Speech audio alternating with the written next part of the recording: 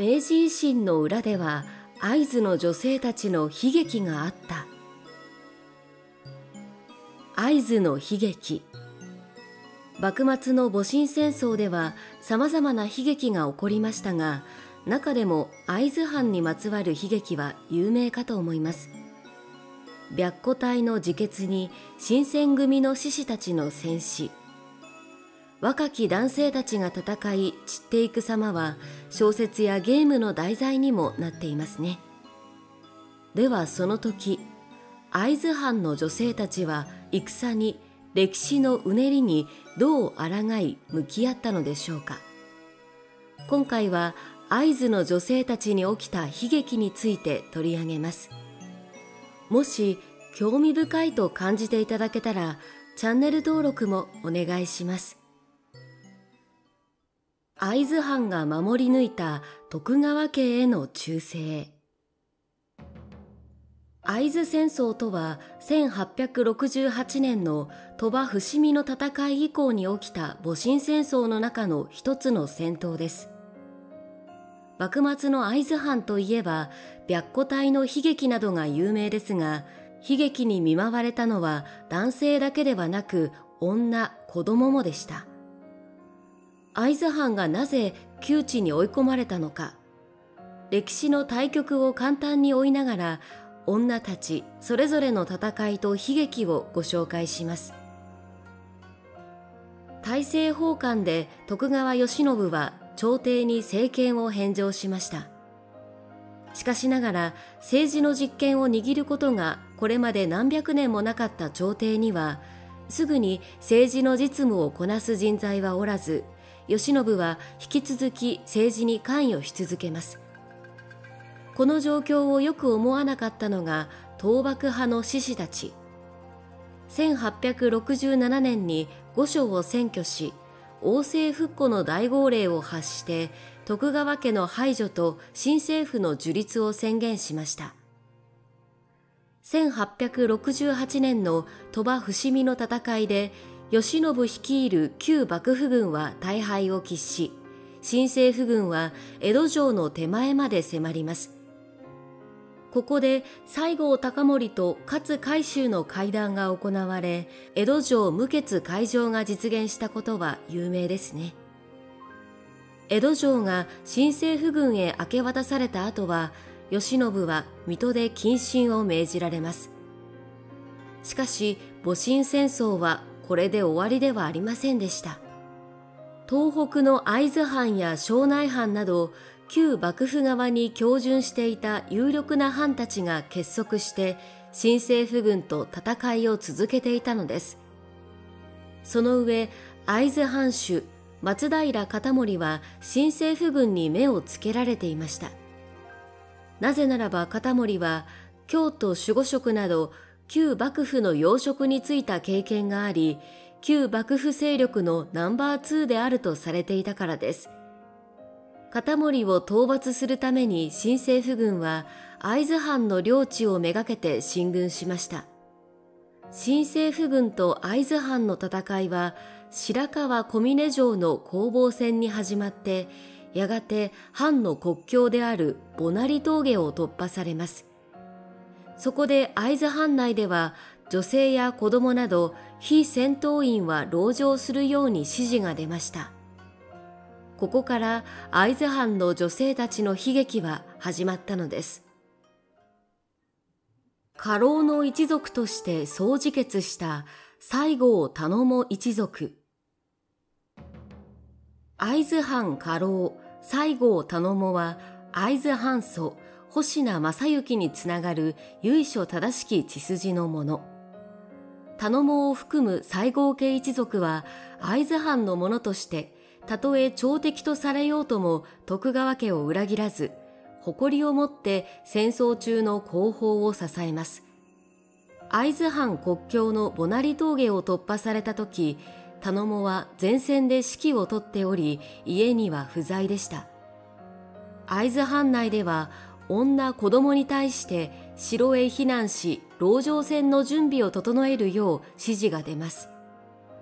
この時主人頼母に代わり留守を預かっていた西郷千恵子は直感しました。籠城戦となれば食料が必要になるだろ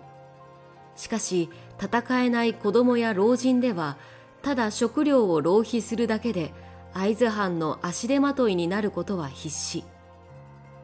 西郷家一族は城へ入らず領民を一人でも多く生かすために自分たちが犠牲となることに異論はありませんでした。千恵子は義母と義祖母に最後の支度をさせるとともに娘たちにも晴れ着を着るように言います。敵に見られても恥ずかしくないように髪も着物も整えなさい。そうして自室に全員を集めると大人たちは次々と自害し始めました。千恵子も覚悟を決めると8歳の三女4歳の四女の順に我が娘を刺し殺します。そして抱いていた2歳の五女を刺し殺した後に自ら喉を刃でついて自害しました。千恵子は自害の直前に自生の句を残していますなよたけの風に任する見ながらもたわまぬ節はありとこそ聞け。自分の身が風に任せる竹のように時代の流れに任せるものであっても合図の儀に準ずるという強い意志は竹の節のごとく固いものである。続けて次女と長女がそれぞれ上の句と下の句を時世の句として残しました。手を取りて、共に行きなば迷わじよ。いざたどらまし、しでの山道。姉妹で手を取って共に行けば、迷わないで死での道をたどっていけることでしょう。一族一緒ならば、会津藩のために迷わず自決し、死での道を選ぶというまだ20にも満たない2人の壮絶な覚悟が感じられますね。西郷邸の自決の様子は敵方の記録にも残っています。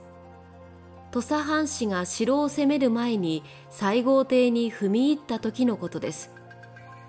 伏兵を警戒して邸宅に向けて発砲しましたが反撃はありません。土佐藩士が邸宅へ入っていくと何人もの女性や子供がことぎれ血の海が広がっていました。ちょうど西郷一族が自害を果たしたところだったのです。17くらいの娘だけはまだ息があり苦しそうに横たわっていました。その娘は人の気配を感じたのか土佐藩士へ問いますそなたは敵か味方かとっさに土佐藩士は味方だと答えると、娘は懐から刀を取り出し、とどめを刺すよう望みました。服装を見れば敵と分かったでしょうが、もう目も見えなくなっていたのでしょう。哀れに思った土佐藩士は、娘の首を切ってとどめを刺してやったそうです。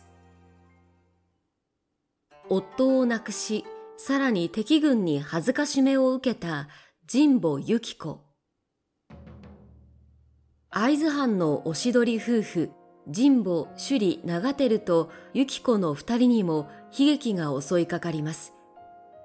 由紀子は会津藩士、井上岡住の次女として生を受け、幼い頃より姉千佳子ともども美人姉妹として藩内でも評判でした。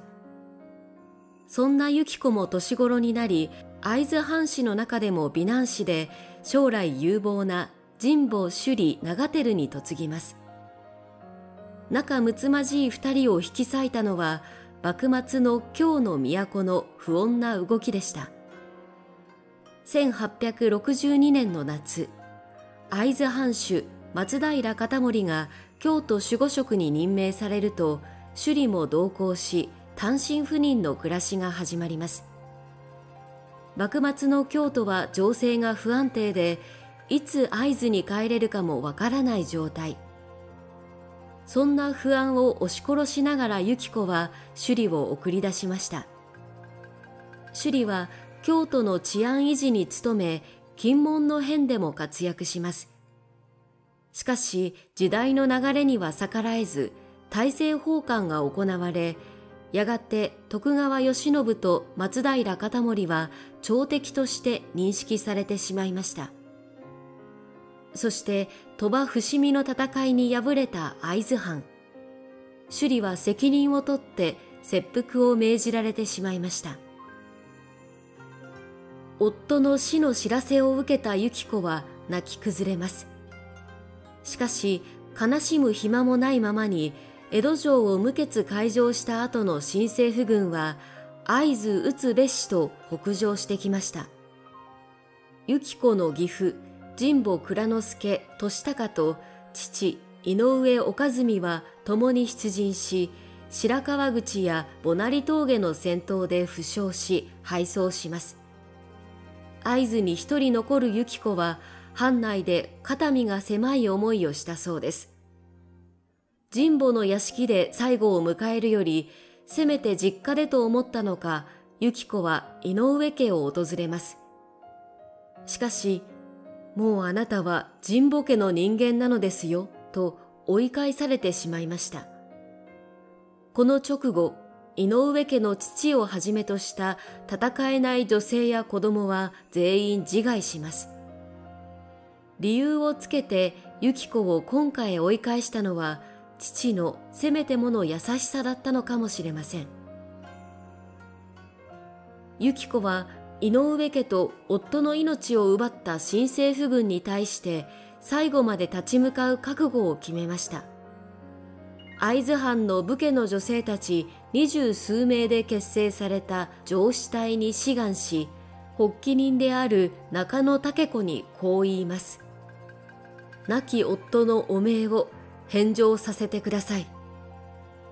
そう言うと戦いに邪魔になる美しく長い黒髪をバッサリと切り落とし鉢巻きを締めて薙刀を手に取りました。会津若松城下での戦闘は皆さんもご存知の通り激しい乱戦となり由紀子は討ち死にこそしなかったものの抵抗むなしく新政府軍の大垣藩兵に捕らえられてしまいますユキコは自決を願い出ました。しかし戦場では海軍の女性にただ自決させるだけではもったいないというのが世の常。やがて土佐藩士吉松早之助が会津若松での戦況視察に来た時見たのは大垣藩の兵士になぶられボロボロになった由紀子の姿でした吉松は見かねてこう言います合図は朝敵とはいえ、女性へのこれほどまでの領辱を許せば、新政府軍に対する支持率が下がるやもしれぬ。残る合図の兵士の闘志を煽ってしまうかもしれない。釈放するか、せめて自決を促すように。しかし、大垣藩兵たちは、よそ者である吉松の言葉に耳を傾けません。吉松も新政府軍の内部での揉め事は避けたいと思い、しかし、ユキコを哀れに思って、密かにユキコへ脇差しを与えたそうです。ユキコは静かに吉松を見つめ感謝を伝えると、大垣半平の目を盗み、獄中にて自決します。中野新之丞の妻、安子の悲壮な決断。会津藩で150石持ちの有力者、中野新之丞の一族も悲惨な最後を遂げます。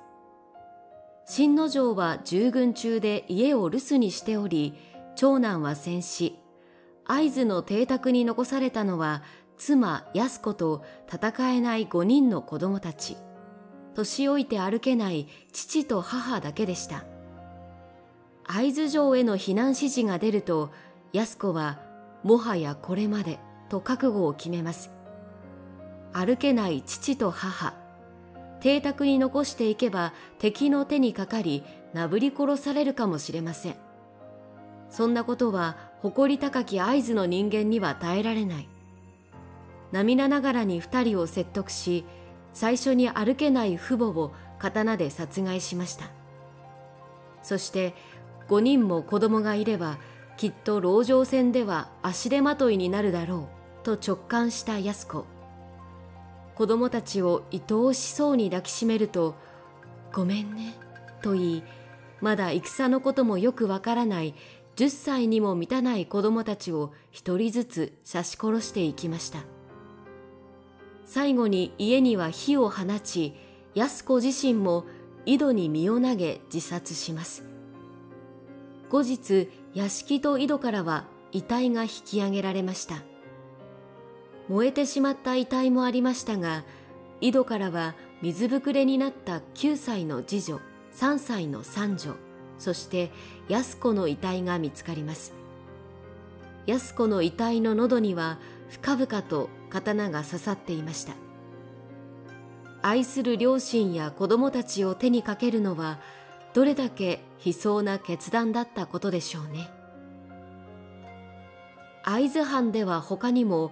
徳川家に準ずる教えのもと最後まで新政府軍に抵抗し上司隊をはじめとした女性たちが戦闘に臨み命を散らしました。